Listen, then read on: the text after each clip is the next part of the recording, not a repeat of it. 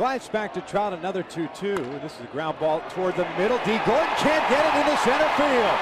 Trout will easily come in to score, and the Angels are up 3-2.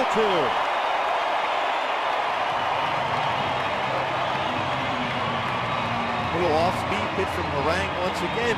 He sped the bat up for Albert Pujols. The pitch before was a slow breaking ball this time again. Didn't necessarily crush the baseball, but still able to keep his hands back because of the timing of the pitch was similar to the pitch before.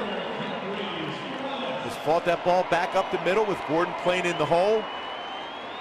It's another RBI for Pujols and now 44 on the season, scoring who singled and stole a base.